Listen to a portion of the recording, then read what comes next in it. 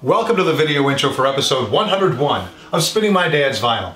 We pull out this great collection of music that was recorded between 1939 and 1954 and then released on this compilation album by Columbia Records. But what I really remember most about music like this was my parents doing chores in the kitchen while listening to this album going full blast on the stereo in the living room. So please join me for Volume 101 Remember How Great?